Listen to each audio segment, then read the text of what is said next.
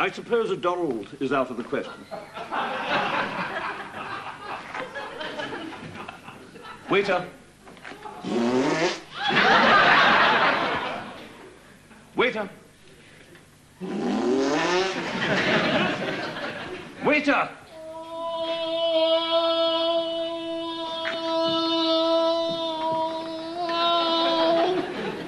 Verily, I heard you call. I wanted thou that the fish is all. I'm Lord. You may deny it too long.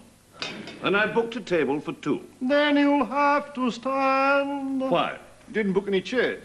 I'm not standing for that. You don't stand for chairs, you sit on them. What is the chef's specialty? Chef's specialty is wearing ladies' underwear. What do you fancy, Mrs. Grolix? The doorman. I'm sorry, the doorman's off, but we have a nice, well-done little lift boy. now, any special wine? Yes. Yes, what? Yes, any special wine? Waits for laugh, gets nothing. Would you like a vintage? No, just a bottle. Well, uh, if you like a bottle, I know what you like. My sister. Is she on the menu? No, she's upstairs on the bed. What year is she? Very good year. 21. Very good for laying down.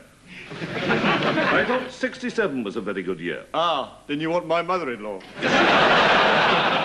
Is she on the menu? No, she's on the embankment. Ah, Jim lad!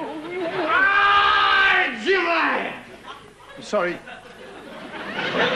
I keep getting these sudden attacks of our Jim lad ever since I had lunch with Sir Bernard Kilometres. You mean miles? No, kilometres. He's been metricated. Jim lad! It's catching. Ah, Jim lad. Ah, Jim lad! Ah, Jim lad! Ah, Jim lad! Ah, Jim lad! Ah, Jim lad! Ah, Jim lad! Ladies and gentlemen, Jim lad! owing to an outbreak of our Jim lad and attacks by Jewish waiters on top of Arabs, plus snow on high ground, this sketch has come to an end. Ah, emu lad! Ah. Stop! now stop. Let's get over.